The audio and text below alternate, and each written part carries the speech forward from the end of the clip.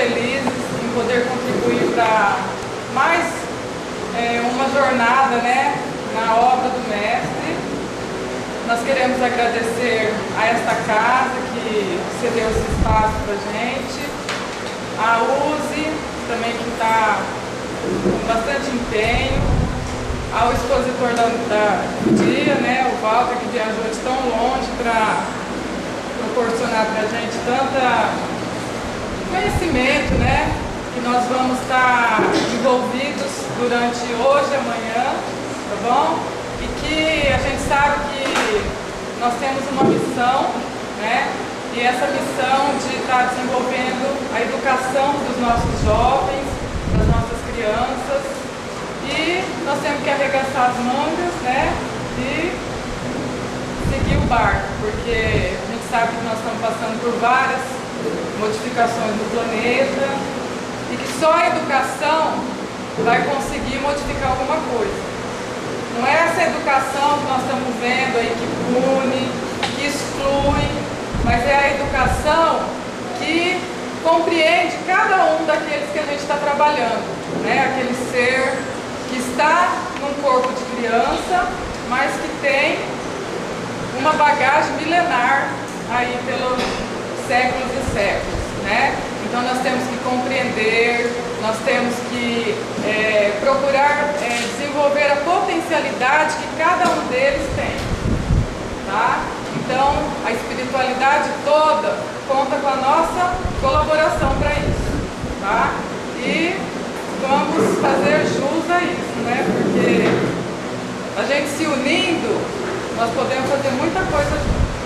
Tá bom? E ele está nessa área estudando, trabalhando, unindo todas as casas espíritas, né, através do seu trabalho, para que a gente mude um pouquinho a nossa evangelização, tratando a criança como realmente deve, né, dando um olhar diferenciado às crianças. E ele veio nos apresentar o seu trabalho, para que a gente possa também reflexionar e mudar as nossas diretrizes, mudar o nosso trabalho em relação às nossas crianças, né? Então eu vou deixar a palavra com ele, que ele possa assumir agora. Boa tarde, gente. É, o nosso trabalho não é uma palestra, né? nem conferência, é um seminário. Né? Então a gente vai papear, brincar né? É, bastante aqui, principalmente porque são muitas horas de estudo. Né? Então nós gostaríamos de começar lançando uma questão e gostaríamos que vocês respondessem a primeira questão. Pode pôr o. Poderiam me responder, então, o que é educação, Valéria? O que é educação? Está difícil de enxergar o nome. Marilane, o que é educação para vocês? Pode responder um processo de aprendizado. O que mais? Uma sequência de ensinamentos. Uma sequência de ensinamentos. O que mais? Eu acho que é fazer o ser humano descobrir as suas potencialidades. Fazer o ser humano descobrir suas potencialidades. Tá. Ou ajudar.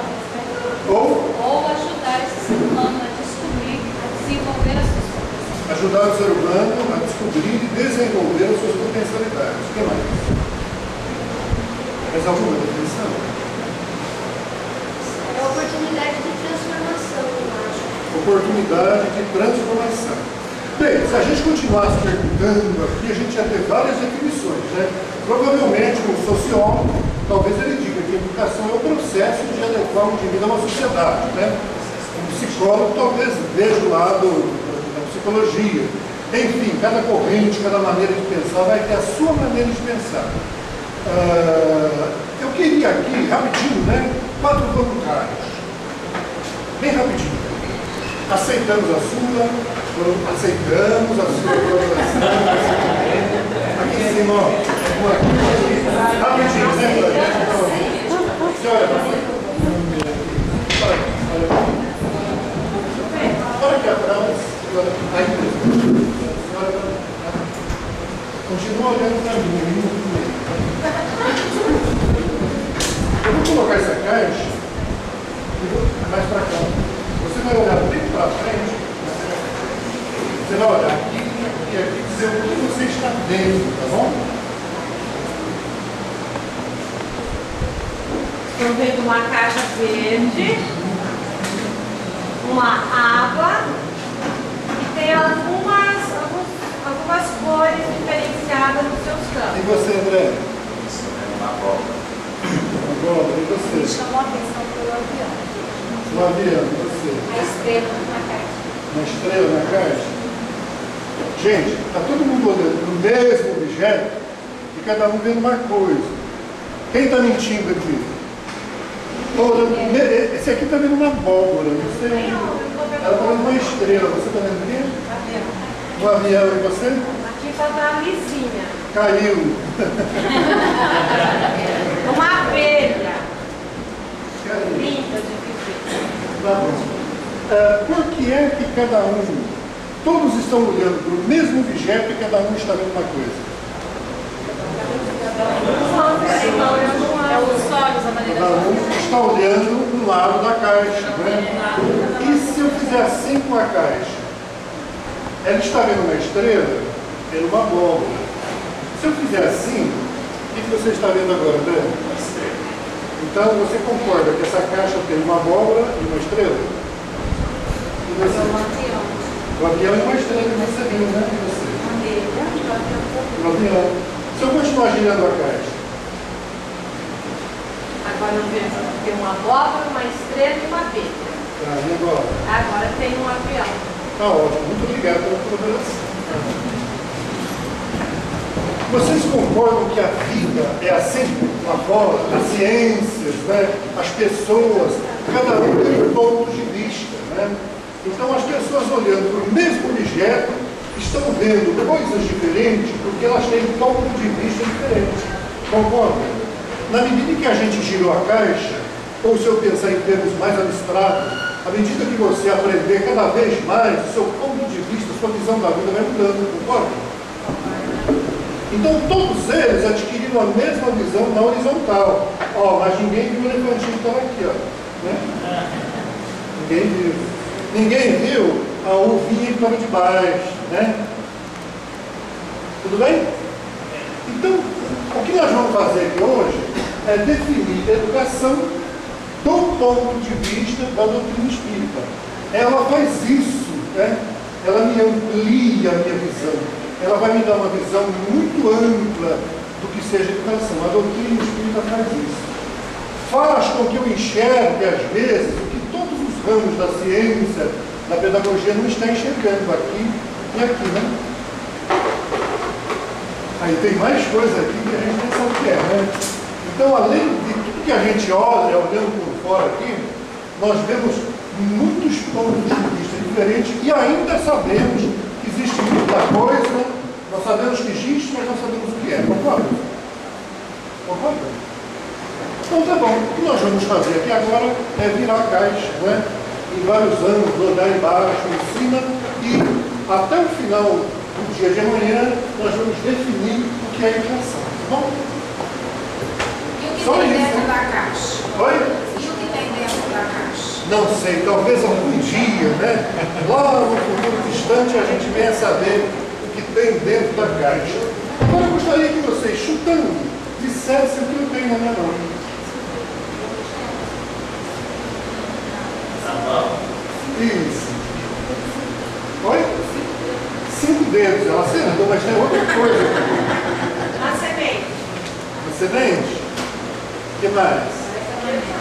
Oi? Uma aliança? O que mais? Oi?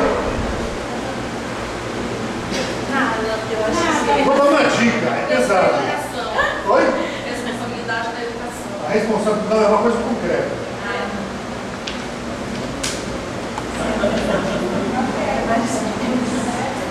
Chuta. Uma pedra? Não, é uma coisa que tem vida. É grande. Você já sabe, né? Eu tenho um colega que é agrônomo, que ele diz que aqui tem uma árvore. É possível ter uma árvore? É possível? É uma sementinha, né? Dentro da semente existe uma árvore, por isso que ela é pesada, né? ela é pesada mesmo. Esse colega que é agrônomo, ele sabe exatamente em que essa semente vai se transformar. Ele, ele diz que ele colocando a sementinha, ela vai soltar uma coisinha que se chama radícula, que vai crescer para baixo. E outra coisinha que se chama caulícula, que vai crescer para cima.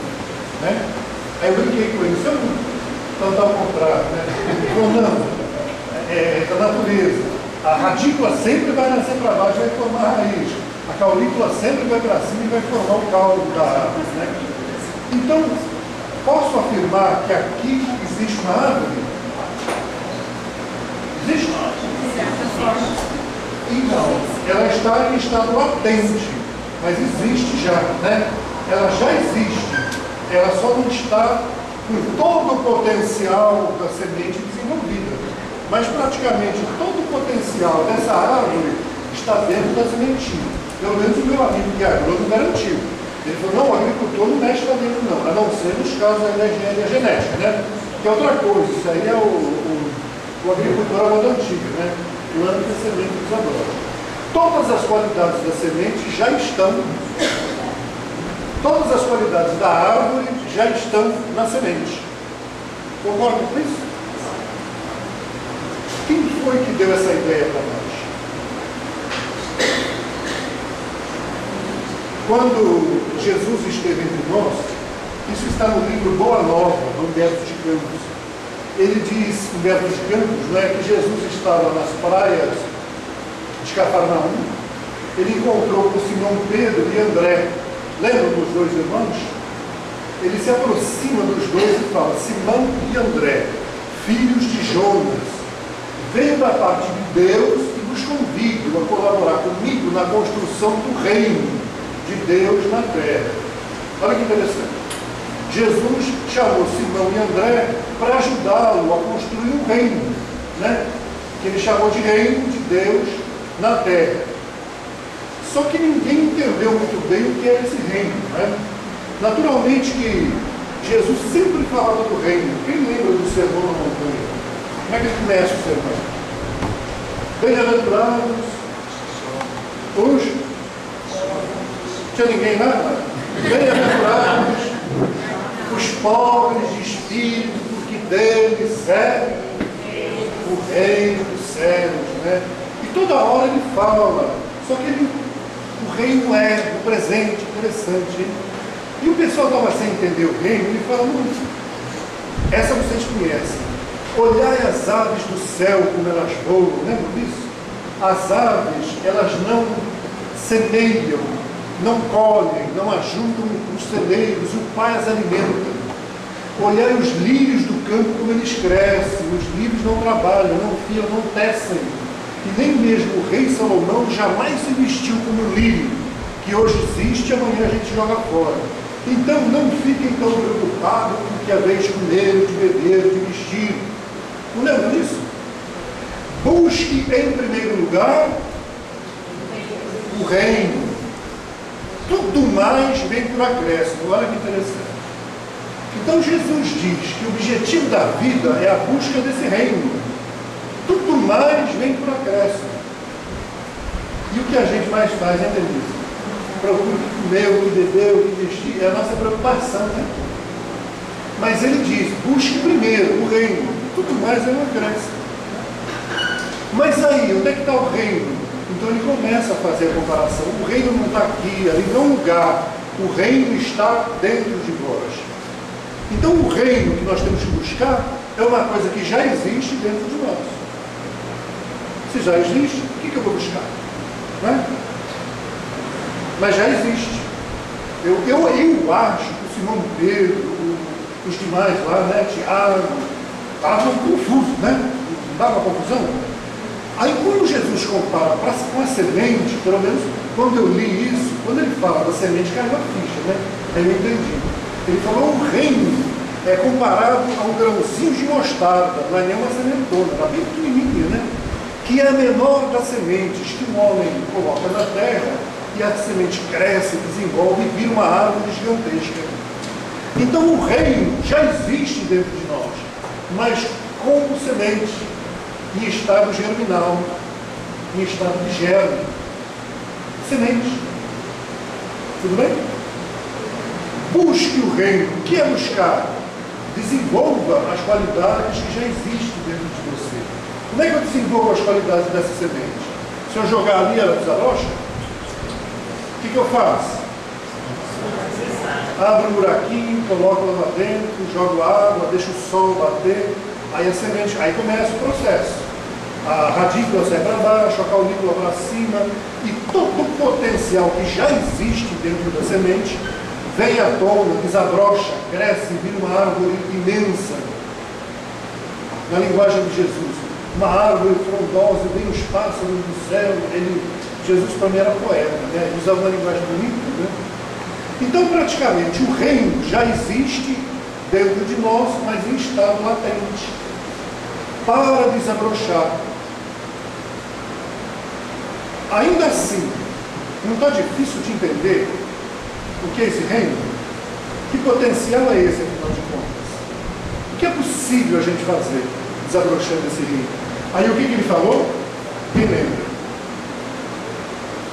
Ele curava leprosos, né, com imposição de mãos, cego de nascença, fazia coisas incríveis que ninguém fez. E um dia ele chega para os amigos dele e fala: O que eu faço, vocês também o poderão fazer e ainda mais. Então, qual é o potencial nosso? O potencial. O que eu faço, vocês o poderão fazer e ainda mais. Sede vós perfeito como o Pai é perfeito. Jesus não toma a si mesmo como modelo. Embora o livro dos Espíritos diz que ele é o nosso modelo, né? Está lá. Mas ele diz, sede vós perfeito como o Pai é perfeito. Ele bota a nossa meta de perfeição lá na frente. Né? Mas, com Jesus, a gente tem uma ideia. O que eu faço, vocês também poderão fazer e ainda mais. Então, já pensou o que você é capaz de fazer, Maísa? Hein? Você podia ficar de pé um pouquinho? Dá uma olhada para Maísa, gente. Olha lá. Dá uma viradinha para trás. Você já pensou o que existe aqui dentro dela, né? O potencial, a capacidade de realização que existe dentro da Maísa? Se o próprio Cristo disse que o que ele faz a gente também é capaz de fazer, não é isso? Nós estamos com a bola, hein? Né? Obrigado, viu? Eu acho aqui comigo que ele esqueceu de um detalhe, né? De dizer quanto tempo ia levar, né? Para a gente fazer o que ele fazia, né? Mas ele garantiu, busque que você encontre, né? Busque, bata e a porta se abre. Busque que você encontre, é procurando que se acha. Então, praticamente, ele deu uma dica de que nós temos um potencial imenso, que ele deu o nome de reino dos céus, de Deus, né? Por quê? Porque a gente é filho de Deus, né? Então, essa essência de vida existe dentro de cada um de nós. E o objetivo da vida? Busque o reino acima de tudo, tudo mais é acréscimo. Hoje dá para entender, imagina uma criança que vai na escola, a Maísa, por exemplo, ela vai na escola, ela bota um uniforme bonito, né? A roupa legal, bacana e tal, uma sandália, tênis da moda, hein? Uma, uma mochilinha, como é que chama essa mochila cara aí da moda? Oi? Da Barbie, tudo bem, né? Toda enfeitadinha, né? Cheio de coisa. E não estuda, né? Qual é o objetivo da escola? É você aprender, né? Então, qual é o objetivo da vida? Desenvolver o reino, uma linguagem de Jesus. Então, mesmo que eu me fique todo, né? mas se eu não, não me esforçar para aprender, para desenvolver esse potencial, tudo mais é acréscimo, concorda? A Maísa, ela não vai morrer de fome, ela não vai sem roupa. Isso vir de um jeito ou de outro. O pai supre, a mãe, o Estado, não é? Agora, tem uma coisa que depende só dela. Estudar, né? Isso ela tem que fazer, né? Ela tem que buscar, busque o reino. desenvolva as qualidades interiores. Essa é a tarefa nossa. Mas a essência, o germe, a capacidade de realização existe dentro de cada um de nós. Então eu poderia dizer. Um. Isso. Eu poderia dizer então que educação nós estamos desenvolvendo. Na visão de Jesus, é o desenvolvimento das qualidades interiores que ele chamou de reino. Posso dizer que educação, porque é um processo, né? O desenvolvimento dessas qualidades é um processo, né? Que nós podemos dizer, o homem chamou de educação. A melhoria, o desenvolvimento interior das qualidades. Posso dizer então que educação, na visão de Jesus, é o desenvolvimento do reino de Deus? É uma linguagem, posso? O desabrochar das qualidades da semente? Na própria linguagem do livro dos Espíritos, o homem sendo perfectível carrega em si o germe, a semente, né? Da, do seu aperfeiçoamento, da perfeição. Então, eu posso dizer que educação é o desenvolvimento de todas as qualidades que nós trazemos dentro de nós. Estaria certo? Está certo? Então vamos definir assim?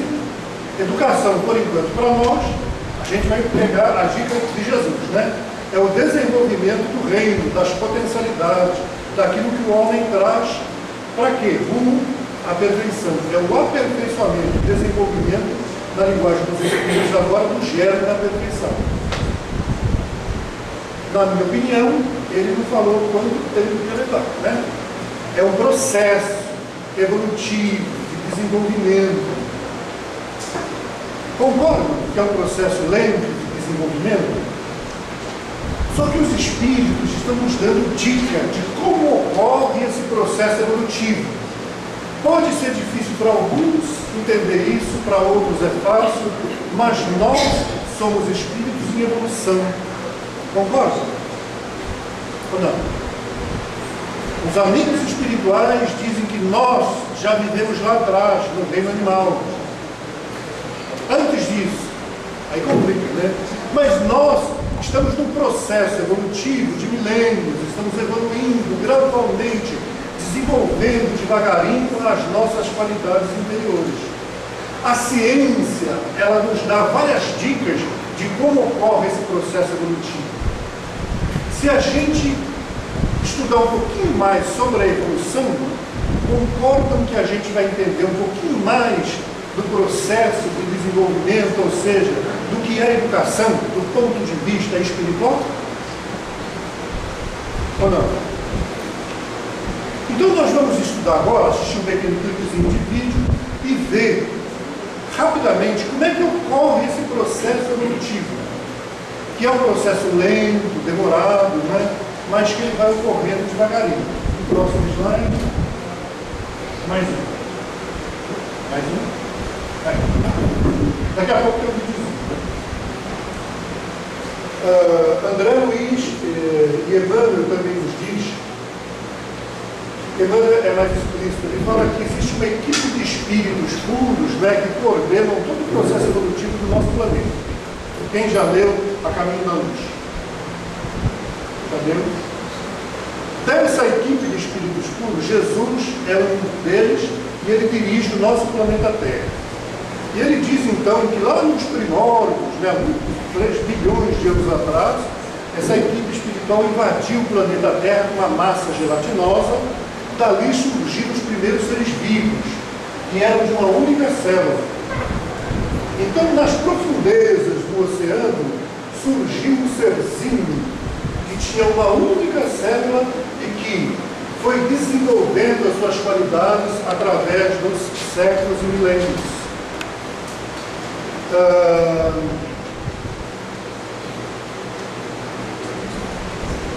eu estou escolhendo uma voluntária. Olha lá, ela, ela ergueu o dedinho assim.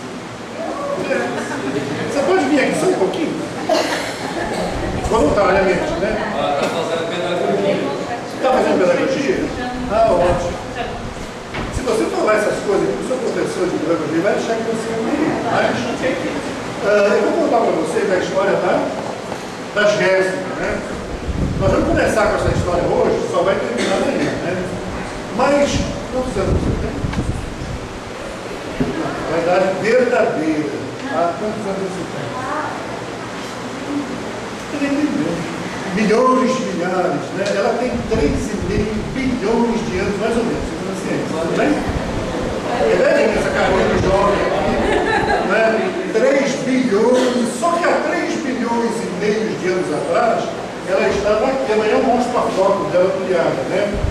É, hoje nós vamos dar uma repassada, estudar muito das teorias educacionais. Amanhã a gente vai entrar na área da neuro, neuropedagogia, né? Entender o funcionamento da mente, como é que a gente construiu tudo isso, né? Então a Jéssica, há 3 bilhões e meio de anos atrás, ela era um serzinho unicelular, uma única célula. Aí eu pergunto para vocês, como é que a Jéssica fez e o que ela fez nesses 3,5 bilhões de anos para hoje ela ser a Jéssica? Um processo evolutivo, concorda? Que levou bilhões de anos. Hoje a gente vai passar por cima, amanhã a gente vai ver detalhe por detalhe, cada como é que se formou. E é muito bacana isso. A gente vai ver como é que a Jéssica é tremendamente inteligente, esperta, né? Uma garota impressionante, né? Mas há 3 milhões e meio de anos atrás, ela não passava de uma velhinha no fundo dos oceanos, né? Então a Jéssica, que a gente conhece hoje, é apenas uma ameba evoluída, né? Só que o André Luiz, o Emmanuel, diz que o princípio espiritual já estava aqui. Não estou inventando, não. A partir da evolução em dois mundos, ele fala isso, né?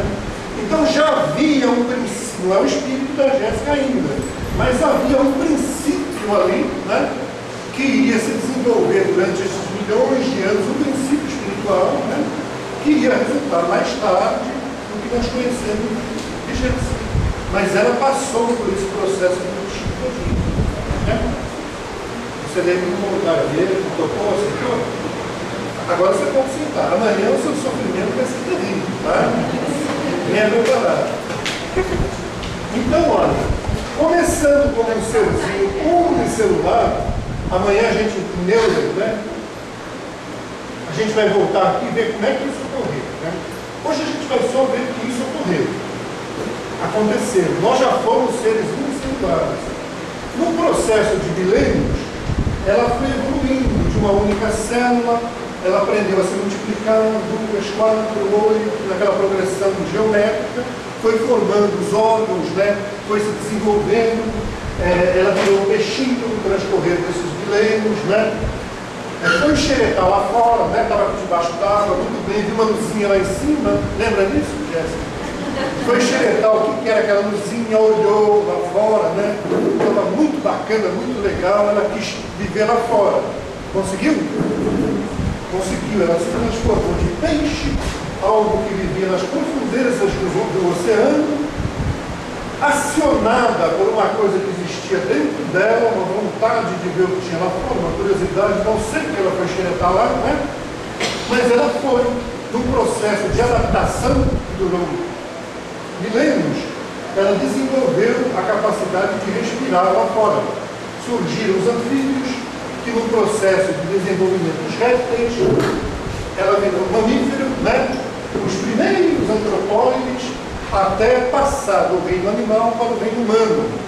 Que o Emmanuel diz que essa passagem daqui para lá se dá fora da Terra em situações que nós ainda não conseguimos entender.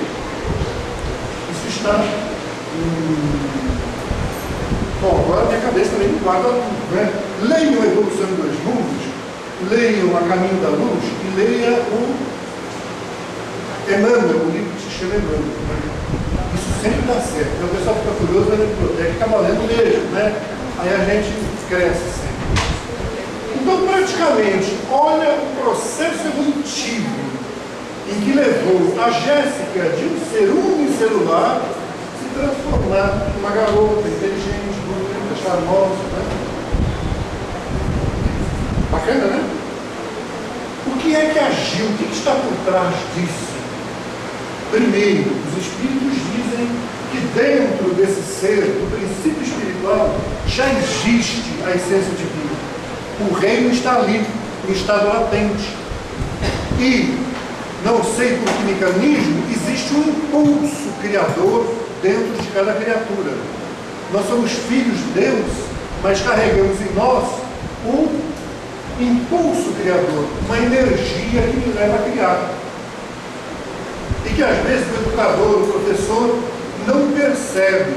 Gente, pensa nesse processo, mas pensa na educação, no nosso filho, na criançada da evangelização, nas crianças, na escola, não é? O que é educação hoje é uma continuação desse processo. A criança que está na minha frente não é um ser que tem quanto, 10, 15 anos, né? Ou uma garota de 17 anos, né? Não, é um espírito milenar, uma capacidade extraordinária de evolução. Tudo bem, Fê? Oi?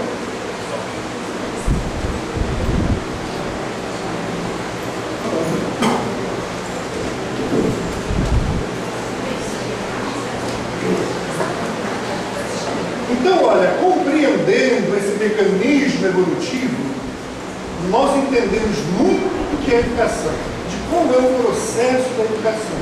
Veja só, já existe dentro de todas as criaturas, filhas de Deus, que somos nós, esse impulso criador. Tem uma coisa lá dentro que me manda criar. Isso está marcante na natureza. Tudo, qualquer animal, qualquer ser da criação é, é, é um ser criativo. Né? Já viu uma criança pequenininha que fica, você manda ela ficar sentadinha, ela fica sentadinha, quietinha no cantinho? Se ficar, manda para o médico que está doente, né? A natureza da criança, de todos os seres, é agir, fazer alguma coisa. É uma ordem divina lá dentro de nós. Faça, crie, né? É um impulso criador. Você dá um, um papel, um giz de cera, pronto, ela está rabiscando, está feliz. Tira o papel, ela vai rabiscar a parede, né? Ordem divina, não reclame da criança, não. Reclame do Criador, né?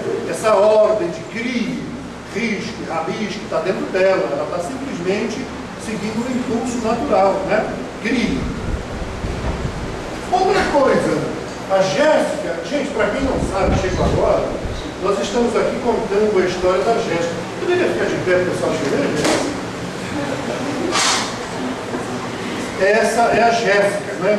E aqui é a Jéssica há 3,5 bilhões de anos, uma meba no fundo dos mares. Vocês que chegaram agora, depois pergunte para ela como é que ela evoluiu tanto, né? Para chegar a ser a Jéssica até hoje. Nós estamos aqui papeando, tentando entender o mecanismo da evolução, porque é através desse mecanismo que nós estamos desenvolvendo todas as qualidades que nós trazemos dentro de nós. Tá bom? Então vamos lá.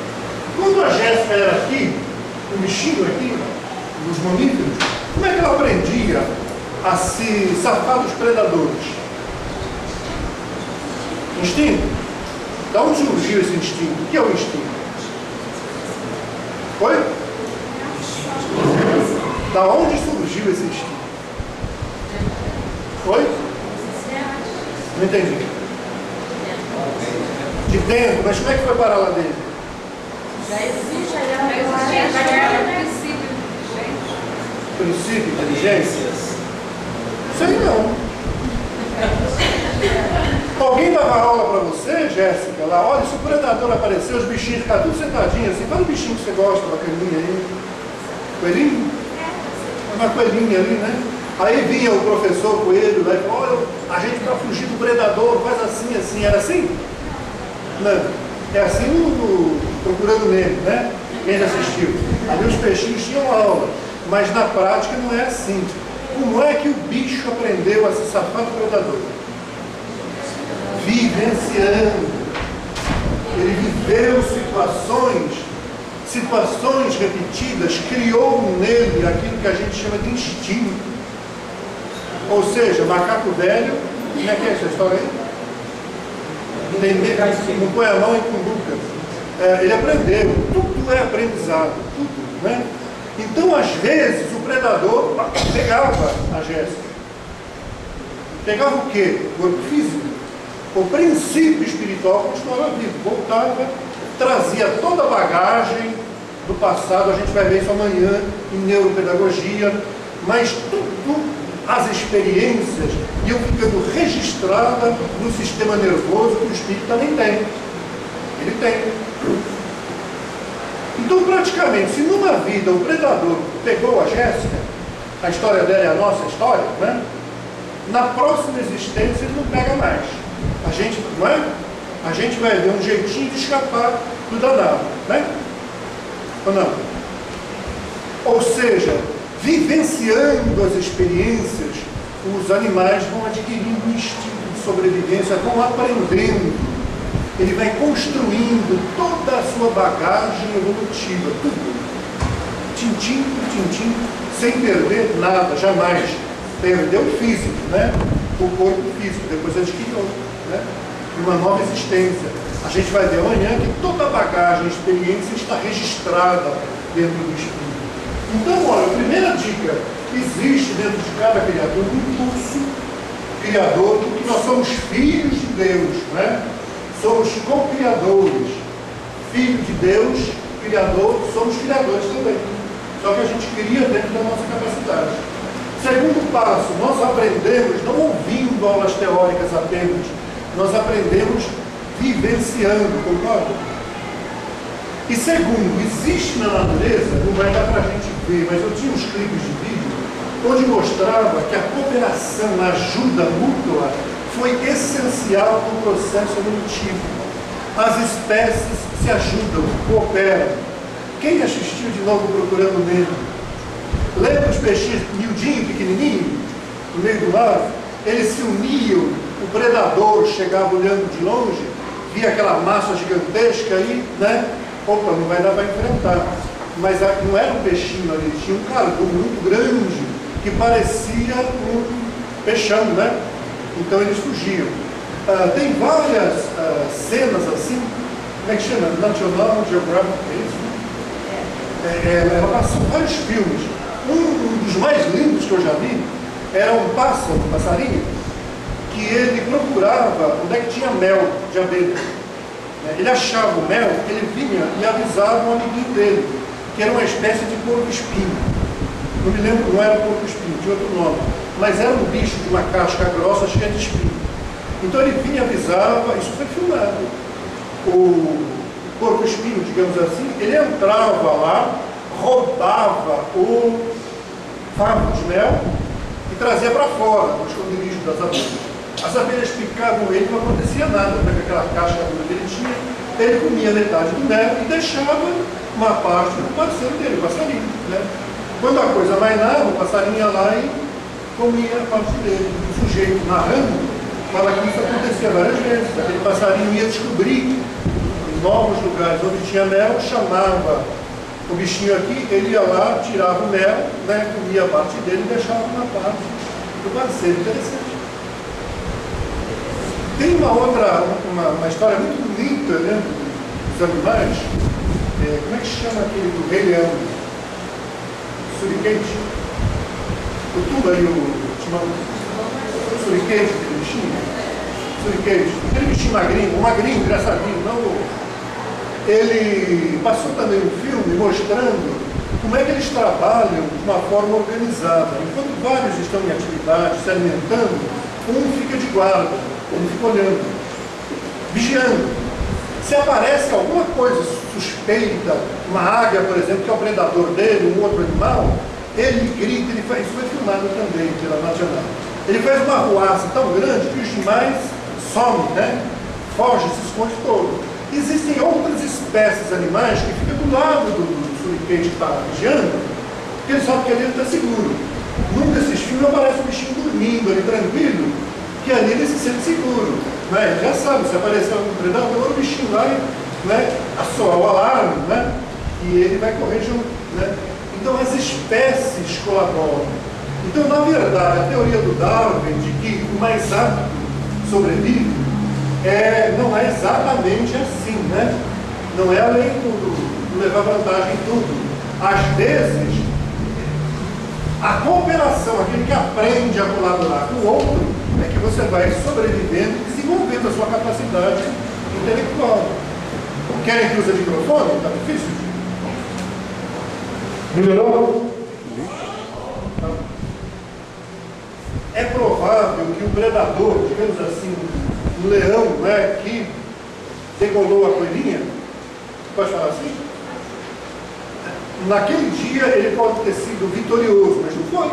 Né? Ele ganhou o almoço. Né? E ela? Ganhou experiência. Triste isso, né?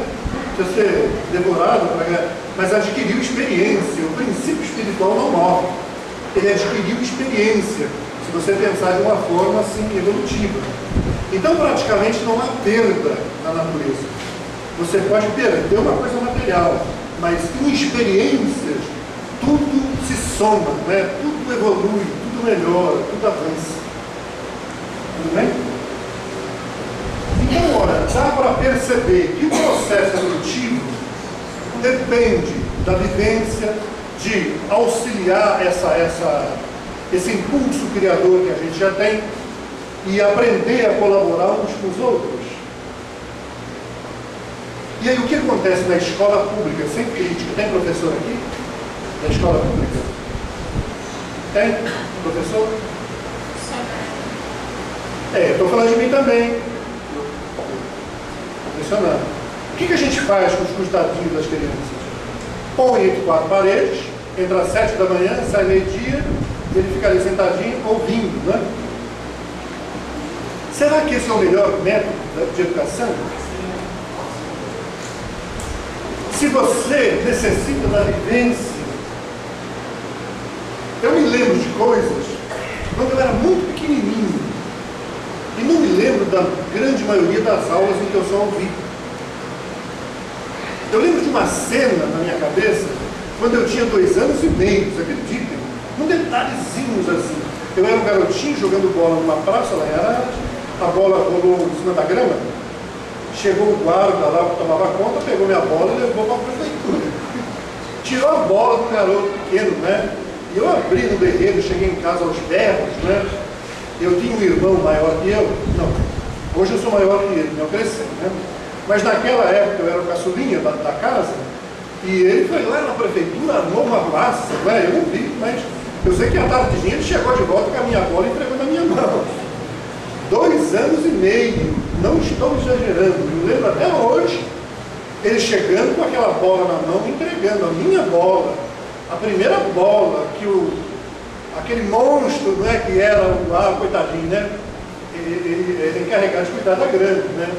Mas olha como ficou isso, experiência que você vivencia, fica dentro de você, você não perde mais, né? dois anos e meio? É, já faz um bocado de tempo, né? Faz mais de 20 anos já, né? É, mas eu não esqueço mais. Então, quantas aulas só teóricas que a professora fala, você escuta, às vezes vai bem na escola, que nota boa, mas tem uma charge, charge muito bacana, em que charge é aquele desenho onde o desenhista faz uma acusação por alguma coisa, né? Então ele mostra uma professora numa sala de aula falando, falando, falando, o aluno ouvindo, ouvindo, ouvindo. Aí ele joga para frente, milhões de anos depois, né? Aparece a professora com um bocão bem grande, né? Ela desenvolveu, tanto para lá. E o aluno com o orelhão bem grande, né? Ele desenvolveu de tanto ouvir, né? Então você desenvolve aquilo que você vivencia, né? Enfim, tudo bem até aí? Tá bom. Agora, eu queria quatro, não, dois, duas voluntárias, dois voluntários, corajosos.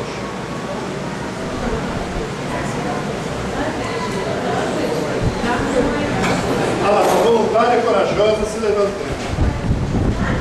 Mais uma. Pode, voluntário. Vai, Rebeca, coragem, filha. Quando, quando Jesus fala assim, Rebeca, sede vós perfeito como o Pai é perfeito, eu imagino que se eu estivesse lá, eu tinha olhado de uma distância. Para onde vai essa perfeição? Para para pensar nisso? José Luiz. Aonde vai essa perfeição? Como eu faço para chegar lá? Nisso? O que eu faço? Ah, vocês perderam, né? Nós analisamos, pode entender dois minutinhos, né? Quando Jesus falou que ele veio para construir o reino, né? Disse que o reino estava dentro de nós, e comparou o reino com uma semente, um grãozinho de mostarda. E disse que o grande objetivo da vida era a construção do reino, que já existe em nós. E comparou com uma semente. Dá para aceitar isso? Um grãozinho de mostarda, o reino. Ou seja, todo o potencial divino existe já em nós como um grãozinho de mostarda, uma semente. E ele diz, o que eu faço, vocês também o poderão fazer e ainda mais. Aí ele diz, sede perfeito, o Pai é perfeito. Como é que a gente chega a essa perfeição? Você mora onde aqui? Aonde? Tem um passarinho lá? Dá um pássaro bacana que você acha bonito. Isso. Passarinho legal. Não, não papagaio. Papagaio. Tá. Um pássaro legal. Mora aqui? Não, mulher solteira. Tem certeza que precisa disso? Tem. É, passarinho, Isso. uma arara. Marara. Arara e papagaio. Nossa, isso é muito Eu legal. também, porque a gente mora relativamente próximo. Essa, esse, esse pássaro, esse, esse papagaio voa? Não.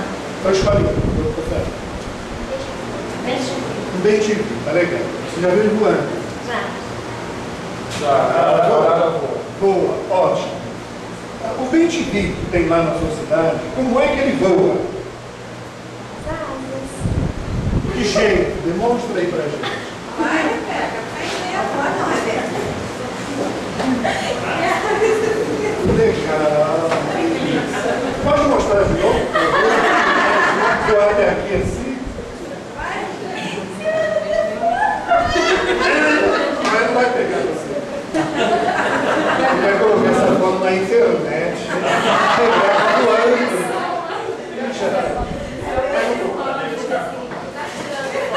Olha lá, beijo de duas. Boa, linda. Zé Luiz, como é que é a? Nossa, essa é melhor. Ainda bem que eu não falei borboleta. Mas borboleta não é arara. Então tá bom. Dá uma fotinha Por que aqui que pra você não bate gente ver. foto dele agora? Ele tá filmando. Você tem que filmar. Bacana, hein, gente? Ó, agora vai bater foto. Olha lá. De costas pode. De costas pode. Gente, o que é arara e o bentivic já foi? O que é arara e o bentivic tem em comum? Quantas asas? Duas asas? Podia voar de novo? Se eu amarrar uma asa sua, você voa? Dá problema? Não, ele fica penso. Fica. Dá- A arara voa se quebrar uma asa? Só, só com as duas. É, foi essa conclusão brilhante que o Emmanuel chegou. Que o pássaro para voar precisa de duas asas. E o homem, a semelhança do pássaro, para chegar a Deus, precisa de duas asas. Quais são as duas asas que ele comparou, por analogia, com as asas da Rebeca, Rebeca do beija-flor, beija do leite Uma asa é O amor. o sentimento, o amor. E a outra? A inteligência, a sabedoria. Então podemos afirmar, seguindo o raciocínio do Emmanuel, que o pássaro para voar e o homem para evoluir, para chegar a Deus, para desenvolver o potencial que ele tem na linguagem de Jesus, precisa desenvolver a inteligência e o sentimento. Bom, olha lá. José Luiz, se quebrar uma asinha do, da arara, ela não voa, né? Então o homem, a semelhança do pássaro, ele precisa de duas asas, a inteligência e o sentimento. Podemos associar isso com a educação? Posso dizer que eh, no processo educativo eu preciso desenvolver a asinha da inteligência e do sentimento. Concorda? Tudo bem? Muito obrigado. Acho que agora eu não consigo mais voluntário, hein? Mas vamos tentar. Eu preciso de mais um voluntáriozinho. Aí. Consegui uma voluntária. Denise da onde? Mesmo. Aqui já é bastante pássaro voando aí fora. Fala onde você gosta, Denise. Beija-flor. Beija-flor? É. Ah, bacana. hein? Você já viu beija-flor voar? Já. Já viu? Como é que ele voa? É, bem rapidinho. assim. Ah, legal. Mostra pra nós como é que o beija-flor voa. Acho que é apressado. Ele não vai chegar a câmera aí, agora. Finge que Ele chega. todo mundo sabe. Não, todo mundo. Todo mundo sabe, Você só tem que demonstrar.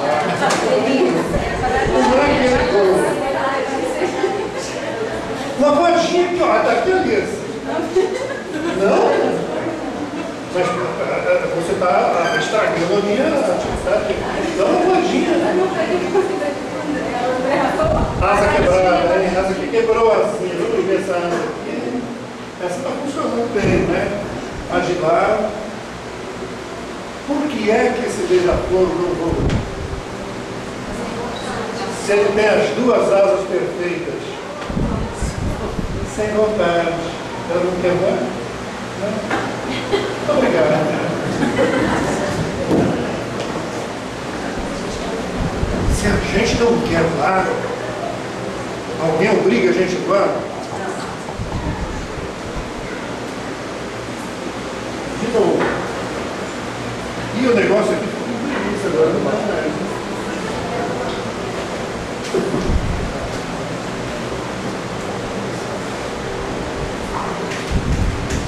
Técnico.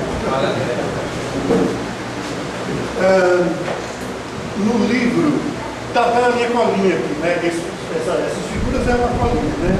Pensamento e vida do Emmanuel, ele diz é, que o homem, a semelhança do pássaro, precisa de duas asas, uma é inteligência, a outra é o sentimento. Aí ele dedica o próximo capítulo inteirinho do livro para falar sobre a vontade, dizendo que a vontade é praticamente a mola mestra da evolução, né? E que há necessidade de se trabalhar essas três coisas, né? Leon Denis, no livro o, o problema do ser, do destino e da dor. Lá no finzinho, alguém já leu esse livro? Quem não leu, leia, é fantástico. Né? É uma obra-prima essa obra do Leon Denis. O último capítulo, ele fala das potências da alma, do espírito. Né? E ele diz que são três as potências da alma: o pensar, o sentir e o querer. A inteligência, o sentimento e a vontade. Essas três coisas são o patrimônio do espírito, são as potências da alma a serem desenvolvidas. Então vamos pensar em Jesus. Como é que ele curava um paralítico, um leproso? Ele estendia as mãos e desejava, ele queria. Concordam? Através da vontade dele, ele mobilizava uma energia tão poderosa que curava o indivíduo. Tem até uma cena muito bacana no Evangelho, onde um doente chega para ele e fala, Senhor, se quiseres, tu podes me curar. Qual era o paralítico? Quem lembra desse O cego. Se quiseres, podes me curar. E Jesus responde, eu quero. Veja, é isso? E o indivíduo começa a enxergar. Uma palavra, hein? Outras vezes ele, ele, usou saliva e dou depois, da outras vezes ele passou a mão, né? No indivíduo. Dessa vez ele fala, Senhor, se quiseres, podes me curar. Ele disse, eu quero. E o indivíduo ficou bom. Vocês lembram aquela passagem da mulher que tinha um fluxo de sangue? Conhece a história? Estou preocupado com o horário, né? É interessante essa história. Ocorreu na cidade de Cafarnaum. Ah lá, está chegando lá. Na cidade de Cafarnaum, havia lá o tal de Jairo, não é? Que a filha dele estava doente, foram procurar Jesus para curar a menina. Alguém lembra disso? Aí a cidade inteira ah, procurando Jesus, aquela multidão imensa, né? E essa mulher que tinha um fluxo de sangue, era uma hemorragia que não parava, né? Ela estava anêmica, gastou tudo que tinha. Ela achou de procurar Jesus na esperança de ser curada. E quando ela chega em Cafarnaum, aquele multidão em volta de Jesus, ela fala, nossa, não vou nem conseguir me aproximar. Lembra dessa história? Aí ela foi pelo. Ela queria sentar, bater um papo, né? Será que eu tenho cura, né? É, ela falou, eu vou pelo menos tentar tocar nele. Eu acho que se eu tocar, eu me curo. Ela foi se esgueirando, tal, e aquela multidão avançando. De repente Jesus para, olha que interessante. E ele diz, quem me tocou? Na narrativa de, Mateus, Marcos, né? Ele, dá para frente agora. Por isso que no livro eu tinha que passar um filme de evolução para vocês. O computador não me deixava avançar, tá vendo? Podemos interromper aqui e assistir o filme? Vamos terminar a história. Né? Ah, vocês já sabem essa, né? Então, aquela, Jesus para no meio da multidão. Agora você tem que sair um pouquinho aqui, ó. Pega isso. Só, não, aí. Daqui a pouco. Ah, é, Jesus para de repente e fala assim: Quem me tocou? Né? Acho que no Boa Nova, o narrador ali fala que um dos discípulos falou a Jesus: Como quem tocou? Todo mundo, né? A multidão é um bate daqui, bate dali, todo mundo tocando em Jesus. Ele fala: Não, alguém me tocou de modo diferente, especial, porque eu senti que de mim saiu virtude. Então dele saiu virtude. O que será que é essa virtude a que ele se referia? O que é? A cura da mulher, mas o que, que saiu de Jesus para curar a mulher? Energia. Uma energia saiu dele e curou a mulher. O que, que essa energia tinha de diferente dos outros que os discípulos muitas vezes não conseguiam curar? Fé. É, aliás, Jesus falou isso, vocês não curam porque não têm fé. O que é a fé? Oi? Confiança. Confiança. É o querer. Né? É o potencial que você coloca na sua energia. A gente vai ver isso. Essas três coisas, pensar, sentir e querer, define o potencial dessa energia que todos nós temos e exalamos o tempo inteiro. Né? Nós estamos irradiando essa energia. Amanhã, quando a gente for estudar direitinho a história da, da não vai faltar amanhã, hein? A história da Jéssica em pormenores, né? A gente vai ver como é que essa energia se forma. Mas por enquanto, o pensar, né, a inteligência, o sentimento e a vontade define a minha onda magnética. A inteligência define o potencial, o quanto eu sei. A, a, o sentimento define a qualidade do pensamento, concorda? Aquele que odeia, o pensamento tem qualidades inferiores, né? Aquele que ama tem qualidades superiores. Um amor tão grande como o de Jesus era uma qualidade tão grandiosa que curava, né? Mas o que definia o potencial a intensidade dessa energia? A vontade, a fé, chama do que quiser, né? Se eu colocar alguma coisa 110, eu sei que o potencial ali é 110. Se eu tiver um aparelho de 220, a gente mede hoje a energia dela. André Luiz diz que um dia nós vamos medir a energia mental, né? Como hoje a gente tem aquele aparelhinho que chama voltímetro, perímetro, um dia a gente vai ter um alguma coisa assim, o mentalímetro, né? vai medir a intensidade, né? a qualidade. Ah, os espíritos já têm, né? do nosso potencial. Então, Jesus tinha, em termos de vontade, um potencial muito grande, que chama de fé. Se tiver fé, se você quiser, a intensidade, né? a força daquela energia, o sentimento dá qualidade e a inteligência dá digamos assim, a quantidade, o quanto eu sei. Né? A gente volta nisso depois.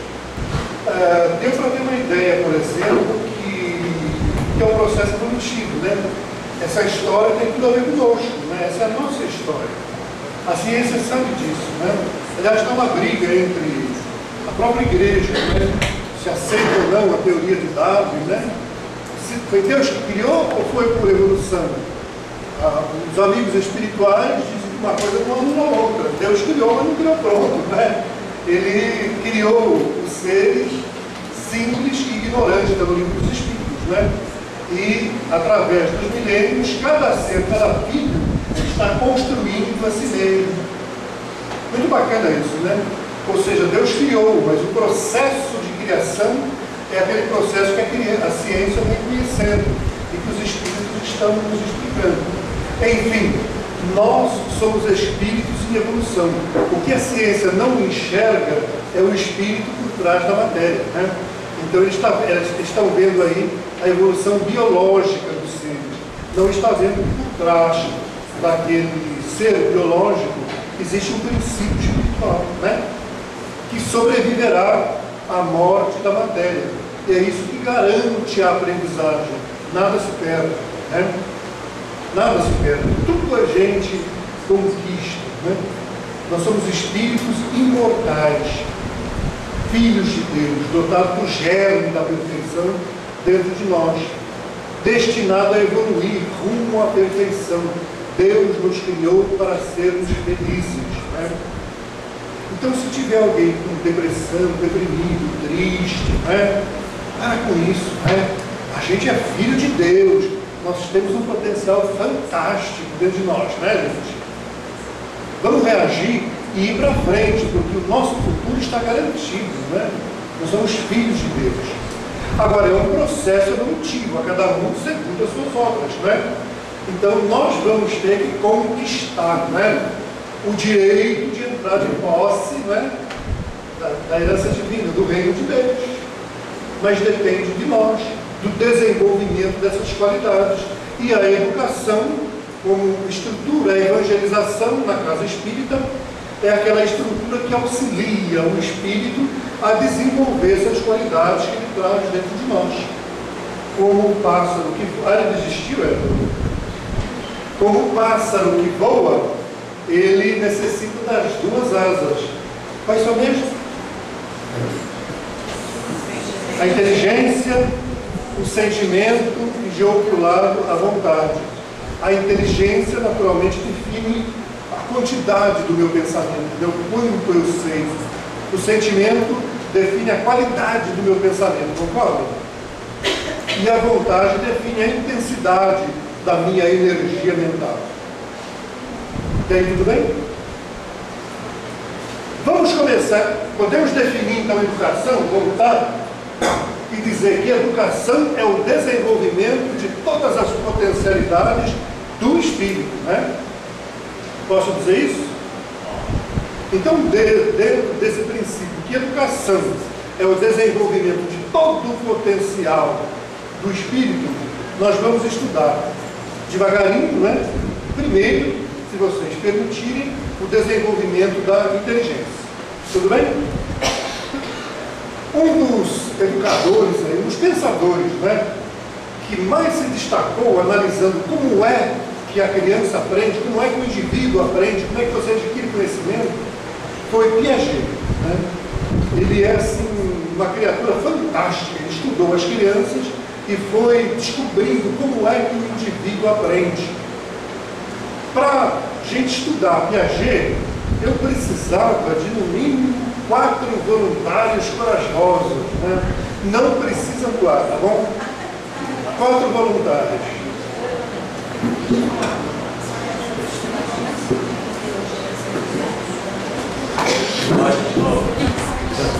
foi, né? Chance para mim.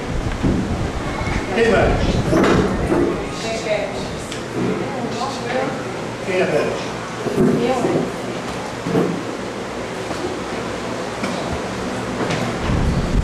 Vamos lá. A Terezinha, a, a Cristina, a Beth e o Luciano, nós vamos fazer uma dramatização aqui onde os artistas são eles, né? Eles estavam nos Estados Unidos, passando por lá, né? na época do Bush, né? Pela época mais terrível. E a Terezinha, era muçulmano, pode ser? Muçulmano. A, a Cristina era o quê? Indiano. Evangélica, tá bom? A, a é? muçulmana, budista, tá? E o Luciano, o Luciano era espírita, tá bom? Mas o governo do Bush achou que eles estavam aprontando lá e botou todo mundo no avião, não era preso, estavam amarrados com as mãos.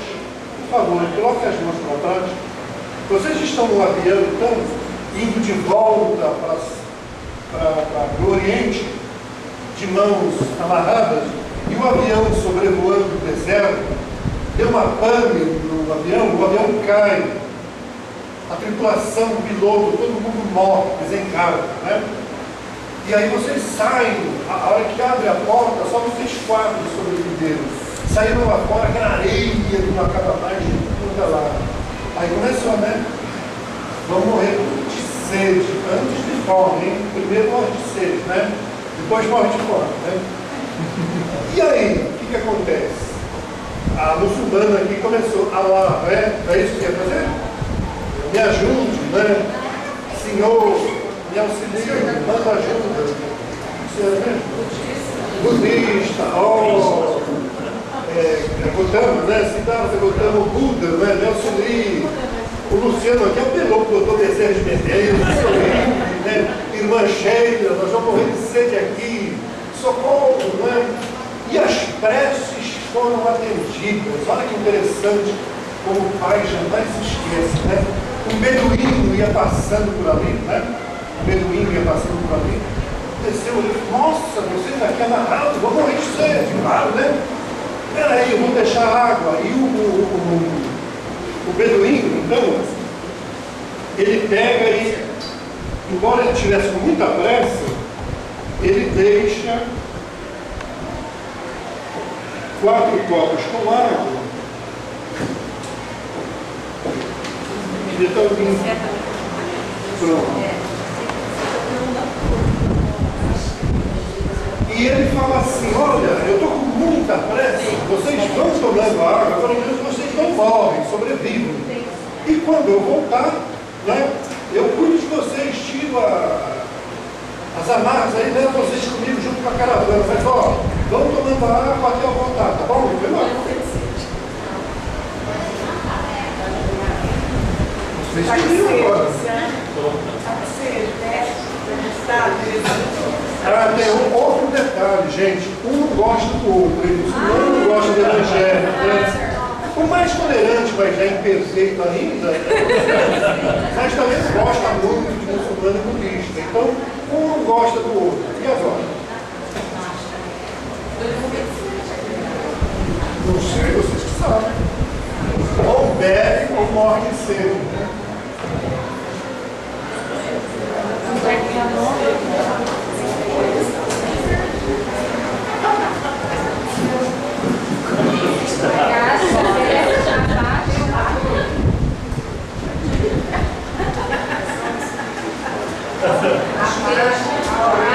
Eu não estou aqui, eu não estou. Tem que pedir uma orientação do mentor.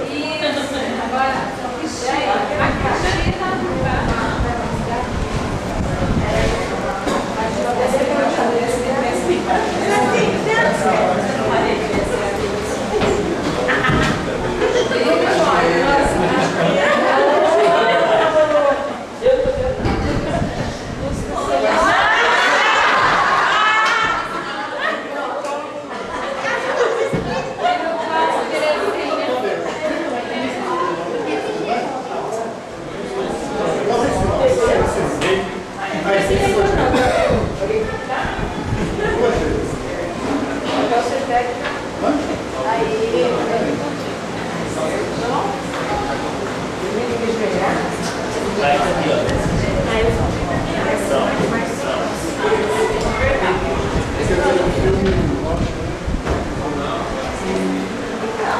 Conseguiram? Já.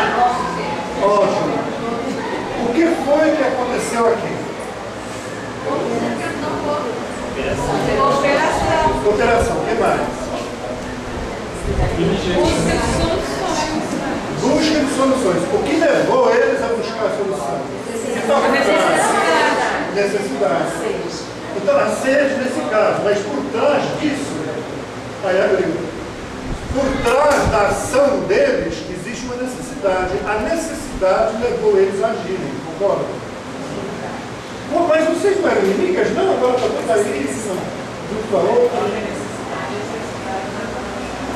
A necessidade aproximou, aí devagarinho vai.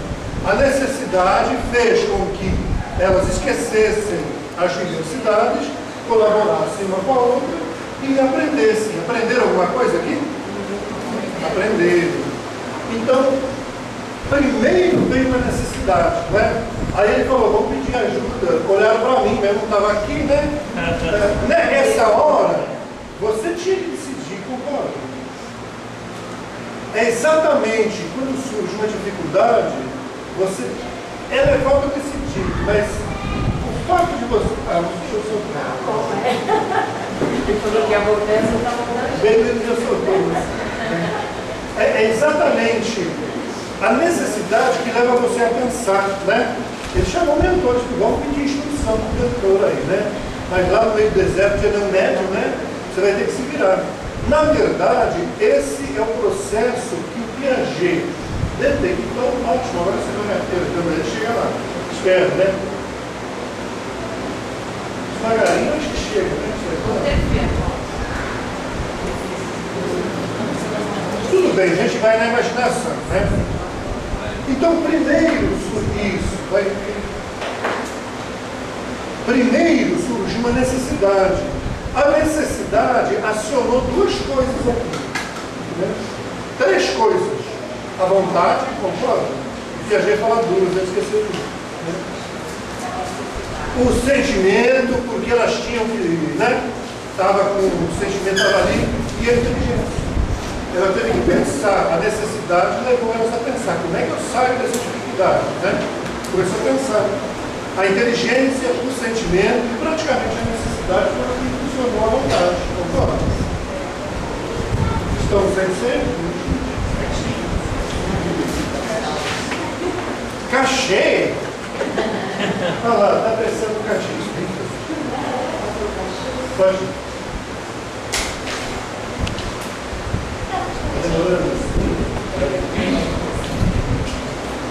Cuidado, porque ele, às vezes ele está registrando o corporativo, você ele vai.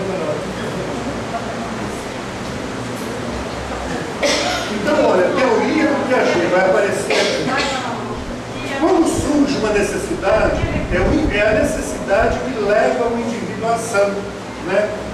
Quando o indivíduo age, na linguagem do Piaget, duas coisas interagem, a inteligência e o sentimento, na linguagem dele. Pode acrescentar aí, é a vontade também, né? a vontade que levou o indivíduo à ação. Está com preguiça, né? Cancela isso aí que ele vai. Eu acho que ele vai para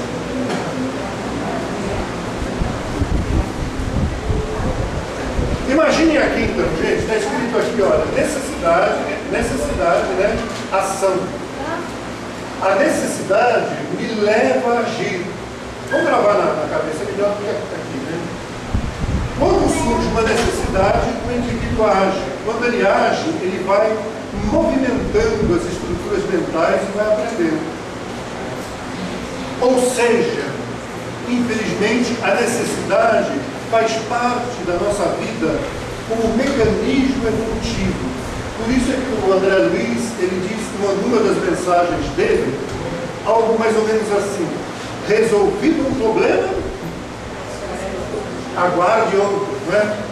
Você resolve o problema, espera, daqui a pouquinho vai surgir outro. Por quê? No instante que eu resolvo esse problema, eu adquiri um pouco mais de experiência. Ah, foi bastante demais, né? Não. Resolvido o problema, ah, eu adquiri um monte de qualidades interiores que a necessidade me levou a mexer com a minha cabecinha. Tudo bem? Então, educação, inteligência, nós estamos vendo a asinha da inteligência, não é um processo de fora para dentro. Onde o professor sabe, o aluno não sabe. Onde o professor transmite conhecimento ao aluno. Essa visão era um pouco falsa. O professor pode até transmitir. Agora, se o aluno vai ou não assimilar aquilo, depende dele. Concorda? Depende primeiro da vontade dele. Se ele tiver necessidade disso, ele vai buscar o conhecimento. Né? Nós tivemos uma experiência, tá né? nós tivemos uma experiência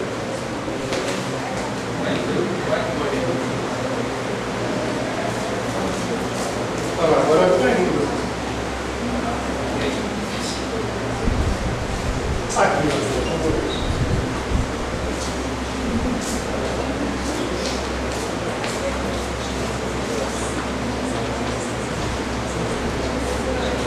Quando surge a necessidade, linguagem do Piaget, ocorre um desequilíbrio no indivíduo. Então ele age para se reequilibrar. Cadê o pessoalzinho da sede? Na hora da sede, a gente não se desequilibra? O que é que vai levar ao equilíbrio? Beber água, né? Vocês não podiam, estavam com as mãos você tem que pensar. Então a necessidade de ser aqui um desequilíbrio, ela me leva a agir. Agindo, eu descubro uma maneira de me reequilibrar. Tudo bem até aí, gente? Isso é muito profundo e bacana, né? Nós estamos num processo evolutivo onde ah, surge uma necessidade que me leva à ação. Se eu levar isso para a minha evangelização, para a escola, para a educação geral, isso aqui funciona na medida em que, em vez de necessidade, chama de curiosidade, chama de estímulo, chama do que quiser, mas é alguma coisa que leva o indivíduo a querer aprender. Se ele quer aprender, ele aprende. Se ele não quiser, ele não aprende. Os professores, até hoje, a gente aprendeu, ah, infelizmente, a usar a prova, né, a provinha. Ah, você tem que estudar para fazer a prova. Você estuda para fazer prova? Você estuda para quê? Para aprender. Né? Então nós estamos usando o instrumento de avaliação como forma de obrigar o aluno a estudar. Ah, mas ficou assim, ele não estuda. Será? Vocês perceberam a garotada de hoje, quando pega o computador na mão, eles devassam aquilo, aprendem muito mais coisa que. Aliás, toda casa que se preze, que tiver um garotinho lá, ele é um especialista em computação, não estou errado. Nosso garoto de 12 anos, 13, 15 anos, ele já mexeu naquilo ali, em tudo, né? E sabe devassar de trás para frente, ele mexe com qualquer programa. E às vezes os mais velhos não sabem mexer ainda. Está correto? Por que, que ele aprendeu a mexer aqui na escola ele não aprende? O professor de física, matemática, tem que rachar para tirar nota. Por quê? A escola está atrasada. A escola está atrasada? Tem estímulo. Você quer obrigar o aluno a aprender para tirar nota. Tudo bem, eu aprendo, tiro nota. Eu tinha lá uma prova de química, eu tirava A, era conceito, né? B, no mínimo, no mínimo, B, tirava nota boa. Faz uma pergunta de química hoje para mim, eu não sei nada. Né? Você sabe alguma coisa, Maria? Uma matéria que você tirou nota boa e que você nunca mais usou. Física, química. É, vocês concordam comigo que às vezes a gente tirou A numa prova, se fizer hoje a gente varrer a nossa memória, não tem nada daquilo ali dentro de nós. Você ia falar? Não, é, a gente pode não lembrar da formulação matemática, por exemplo, mas se você vai fazer uma ultrapassagem, indiretamente você está usando matemática, você está usando a física, né? Mas eu concordo com você que a parte matemática que a gente não usa e não desperta interesse, realmente ela é delegada, né? Ela é. Estudo. Você... Mas como é que você tirou A numa prova, B numa prova? Como é que você estudou? Eu estudei para tirar nota. Esse era o meu desafio, não aprender. A minha necessidade é tirar nota, passar de ano, não é?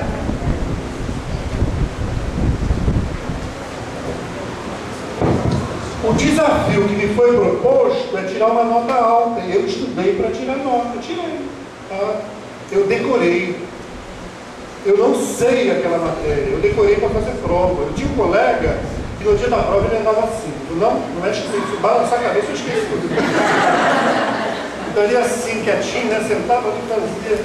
Ufa, agora eu posso esquecer. Fazia questão de esquecer. Porque aquilo ali deu tanto trabalho para ele, né? Tirar aquela nota, ele ia fazer outras coisas. O cara era um. nadava como ninguém. Eu andava quando ia nadar na piscina, ficava perto deles, eu morri afogado, ele me salva. Ele era um exímio nadador, nunca vi coisa igual, nem peixe nada igual a ele. Quer dizer, ele tinha um potencial criador, assim, ele não gostava de matemática, física, ciências exatas, né? Nada disso ele gostava, né? Mas ele era um- uma sumidade em outras áreas. Ele era grande, né?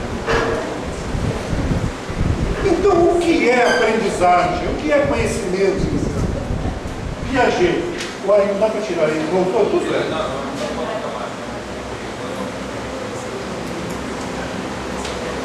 O que é, então, inteligência? O que é inteligência? É conhecimento acumulado? Não.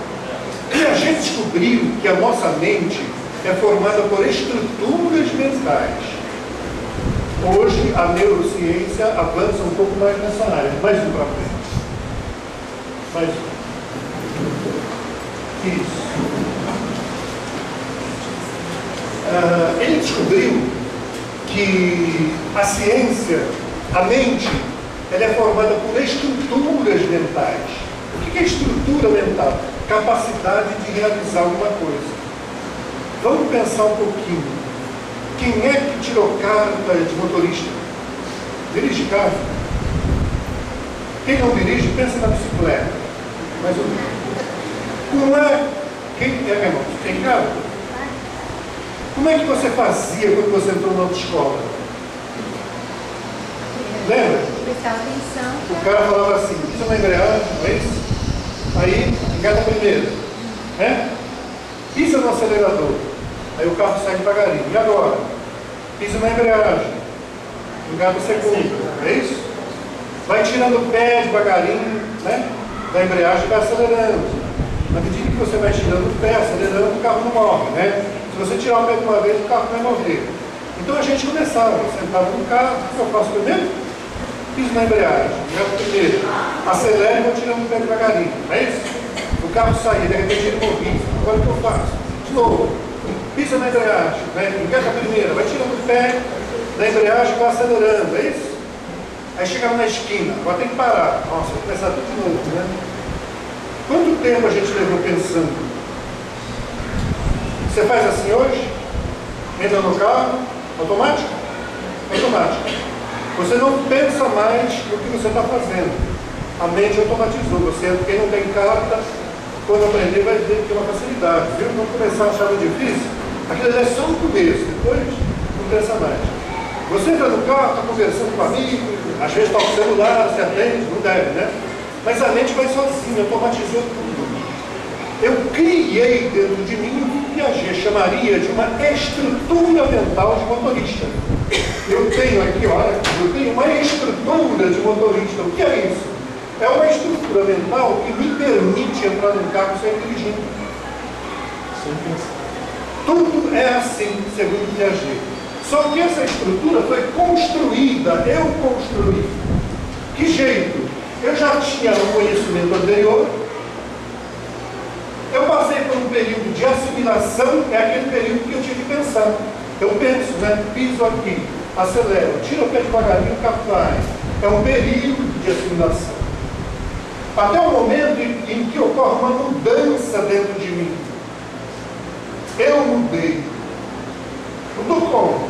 Eu adquiri uma estrutura de motorista. Hoje eu não penso mais, eu entro no carro sem dirigir. Eu não sou motorista porque eu tenho uma carteirinha que diz que eu sou. Eu sou motorista porque eu tenho uma estrutura mental de motorista, concorda? Ou seja, inteligência é um processo de construção mental. Não é um processo de fora para dentro. Eu ensino a Denise como faz isso. Mas o instrutor não ensinou. Ele deu umas dicas, né? Como é que eu faço? Mas eu tive que sentar no carro e fazer tudo aquilo ali até a minha mente registrar tudo aquilo. O carro.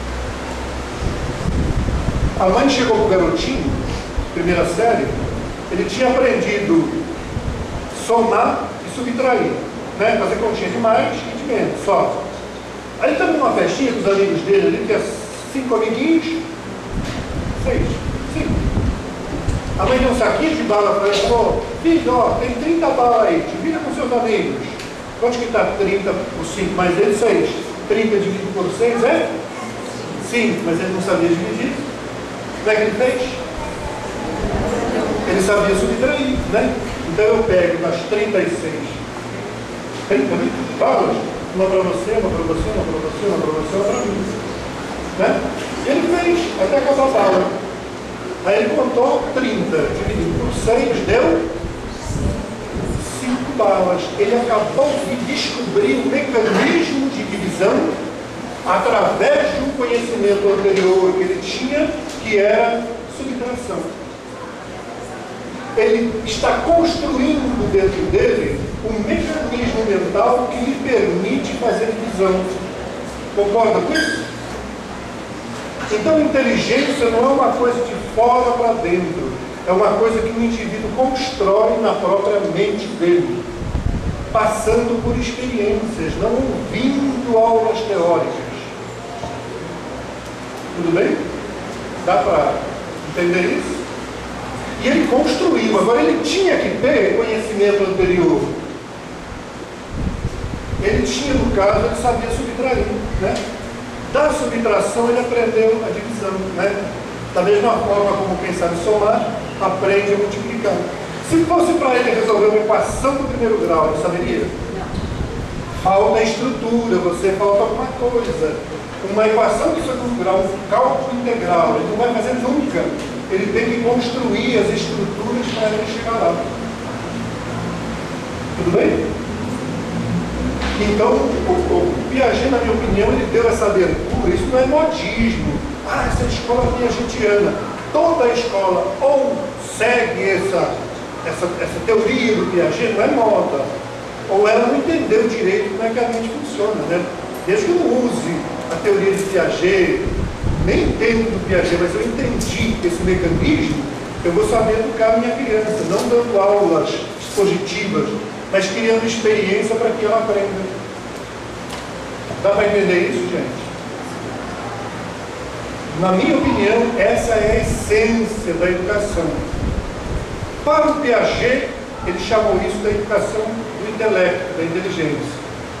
Posso garantir que isso está em toda parte, em todos os no moral também, no sentimento também. Aí, Simão Pedro chegou para Jesus e falou assim: Mestre, quantas vezes eu devo perdoar o meu irmão quando ele houver pecado contra mim? Sete vezes? No livro, acho que é Boa Nova, Versos Campos, né? Ele, ele relata isso aí, né? Ele dá a ideia que Simão Pedro já tinha brigado com alguém, acho eu, né? Alguém, já tinha perdoado sete vezes, não aguentava mais, né? Ele falou, Senhor, quantas vezes eu vou perdoar? Sete vezes, está bom? O que, Jesus respondeu?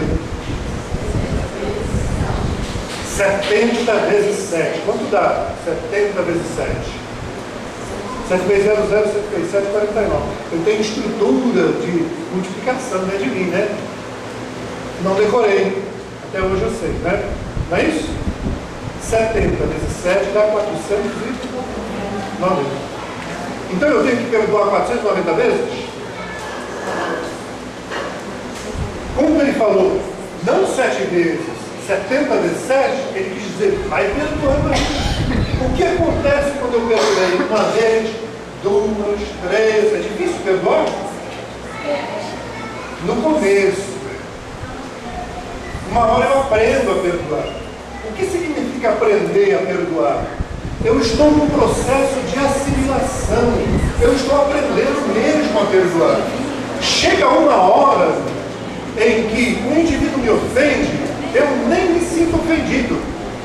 eu adquiri a capacidade de perdoar o outro. Não é? Ou não? É. Eu perdoei uma vez, foi difícil, duas, é difícil, eu não sou santo, né? A gente sente dificuldade, eu não tenho estrutura para perdoar. E não adianta a gente ficar bravo consigo mesmo, bater com o rei nas costas, né? Que a gente vê em filmes, né? Eu tenho que adquirir essa estrutura de aprender a perdoar. É um aprendizado? É um aprendizado.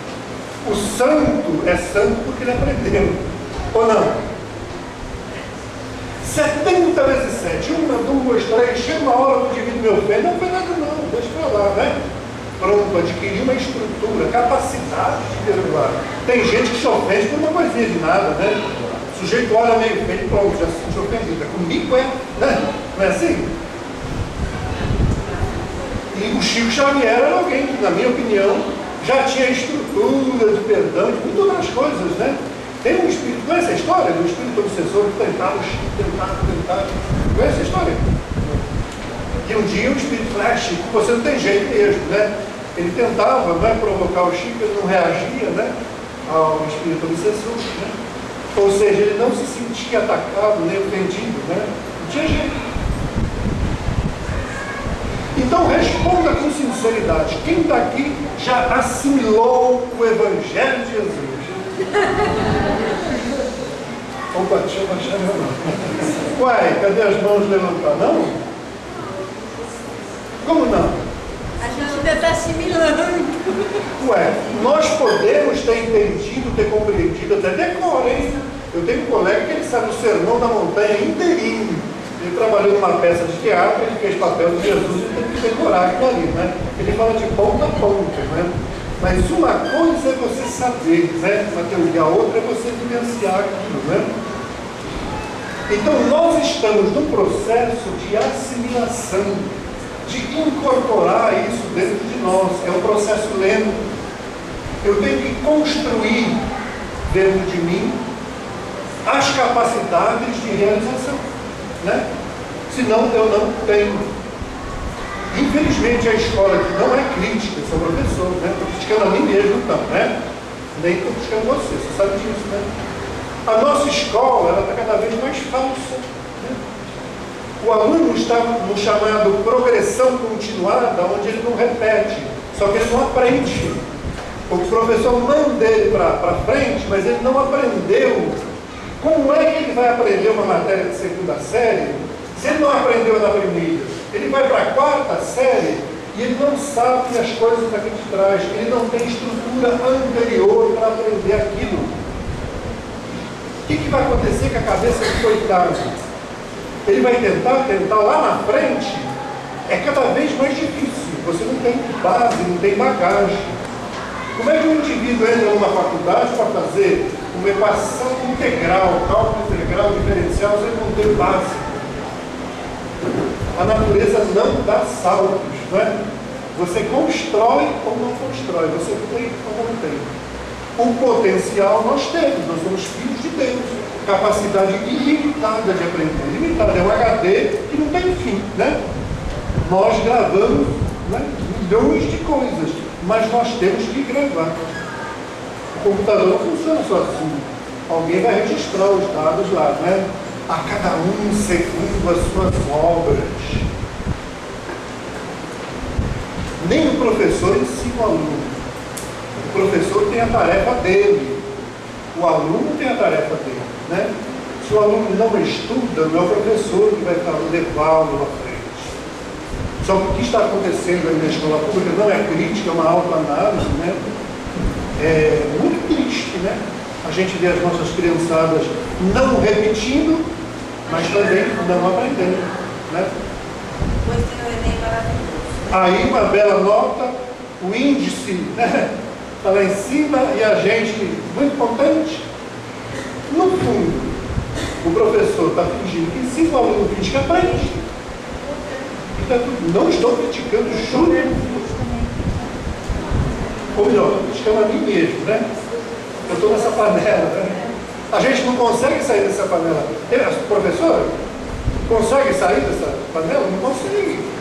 não consegue, é uma estrutura que te prende, né? E você acaba agindo assim.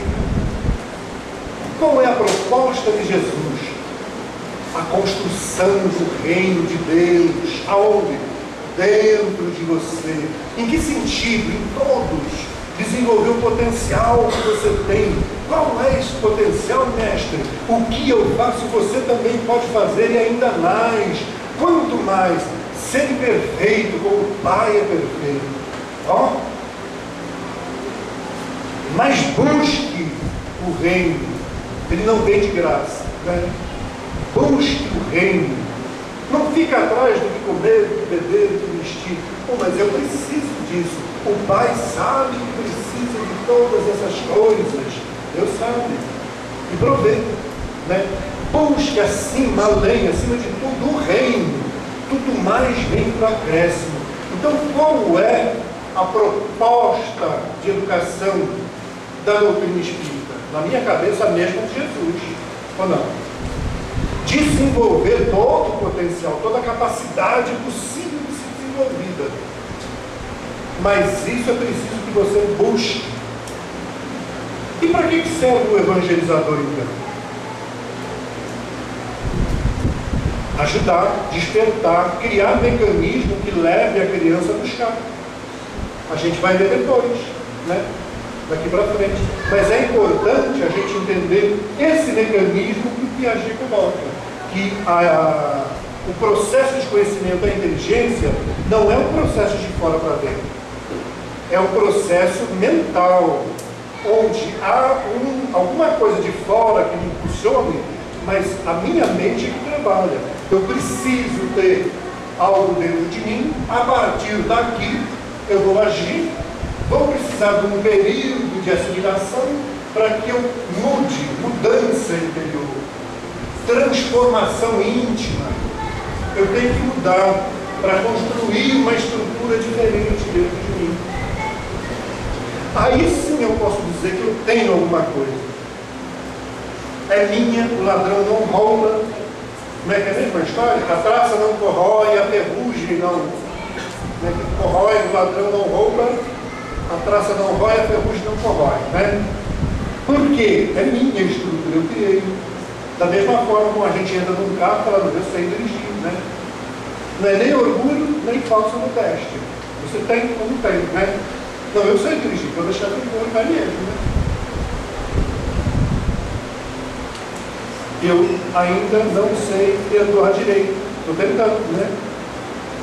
Eu ainda não sei amar o meu próximo como devia. Estou tentando.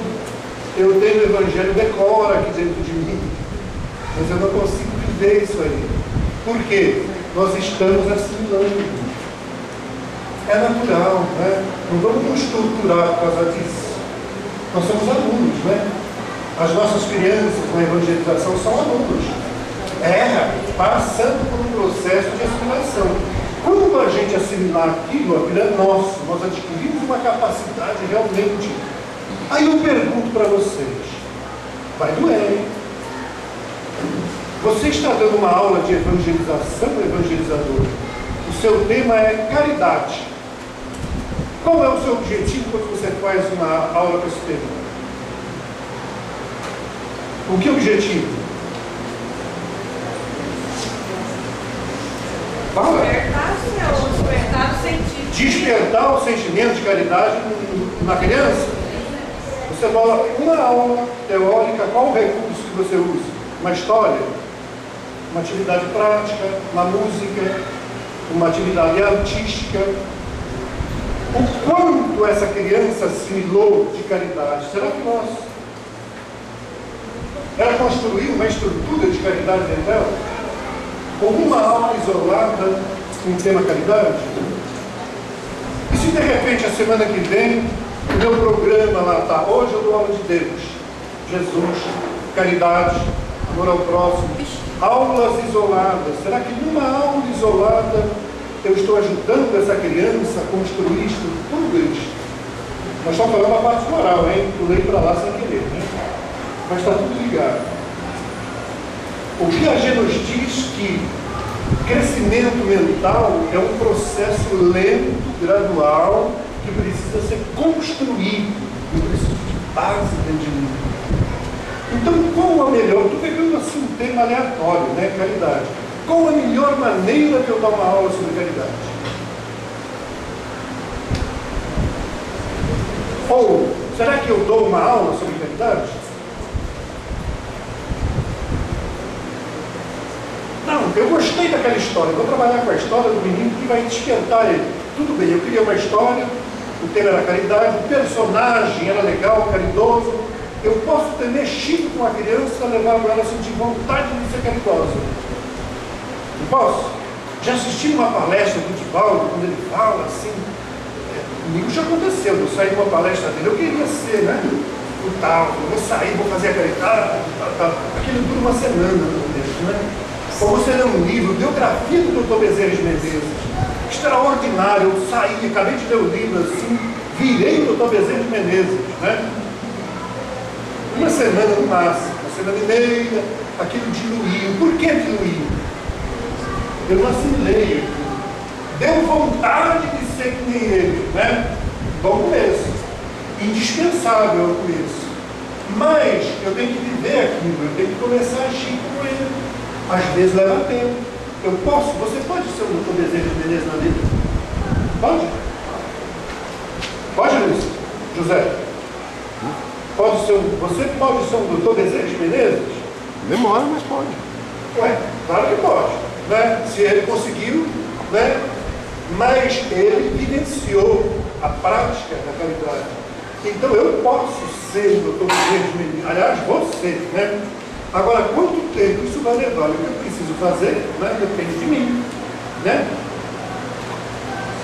De mim, não adianta nem a gente pedir para os espíritos. Ah, aliás, adianta. A gente pede, a gente começou a. Estamos trabalhando a nossa vontade, né? Mas não pode ficar sentado esperando, né? Que ele resolve o nosso problema. A gente pede devagarinho, né? Estamos trabalhando. Então, numa aula do tema caridade, uma aula eu peguei um tema qualquer, né? Não é interessante se eu quero começar com aquela história, que logo em seguida eu coloco um ato que leve a criança à prática da caridade? Por exemplo, visitar uma favela, visitar um asilo, entrar em contato com alguém que precise mais do que você, né? Ou não?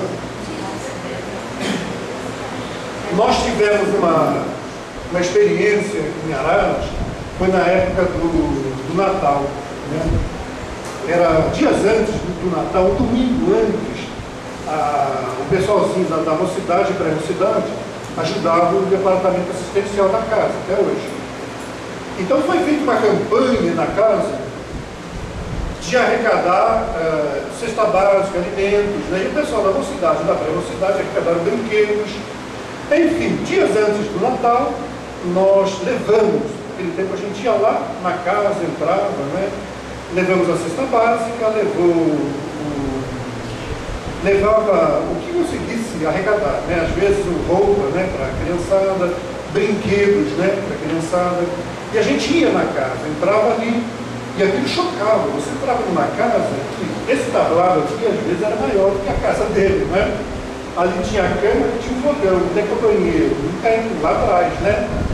E cadê a torneira com água chuva que não tinha? Passava um rio lá na frente, né? E o rio eles tomavam banho, era, era uma situação deplorável.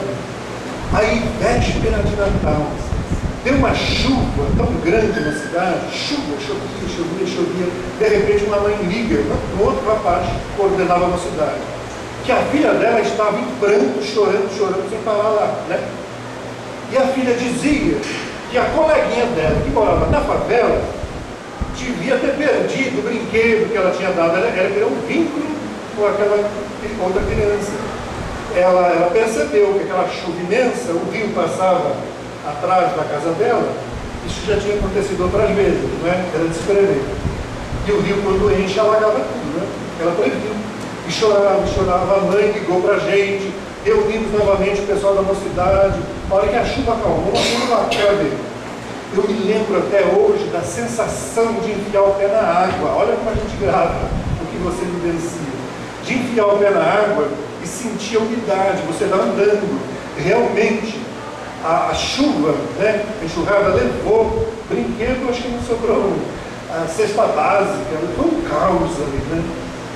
Então aí foi a mocidade volta, corre atrás, véspera de Natal. Nunca mais esqueço. Várias encarnações eu vou me lembrar desse dia, né? De, de enfiar o pé na água ali, de ver a, aquela situação. Pronto, a moçadinha foi, corre atrás, telefona, liga, consegue arrecadar alguma coisa para suavizar um pouquinho, né? E a gente volta lá e entrega de novo alguma coisa, né? muito pouco. Mas olha como marca, né? o sentimento de caridade, eu acho que houve um processo de construir, começou a construir uma estrutura de, de caridade, que para mim caridade é sentimento, né? Você sente realmente a, a, vontade de ver o outro melhor, de ver o outro feliz, de ver o outro em paz, enfim, você sente vontade de ajudar, né? E a gente sentiu que aquela experiência, embora dura, é, deve ter criado dentro da gente pelo menos o começo de uma estrutura de praticar realmente a caridade. Acho que cresceu, nasceu ali dentro da gente um sentido novo, né? a vontade de ajudar alguém que tem dificuldade. Então aí a gente foi percebendo que a educação não é da aula, não, né? é vivenciar experiências para que a criança cresça, para que ela sinta dentro dela. Uh, estamos interrompendo, não é? Para tomar um cafezinho, está na hora? Gente, uh, nós temos um cafezinho aqui do pessoal, quantos minutos? 20 minutos? Vocês prometem mesmo? 20 minutos? Como eu sei que vão atrasar, 25 minutos.